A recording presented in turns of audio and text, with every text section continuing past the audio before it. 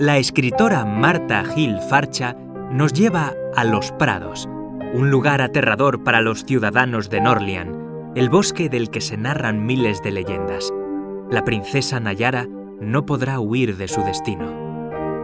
Tarde o temprano, se verá obligada a traspasar las fronteras de estos páramos y aventurarse en sus más hondas profundidades en busca de protección. Sin embargo, allí, inmersa en el corazón del bosque, descubrirá ocultos secretos. Ya a la venta en libreríacirculorrojo.com.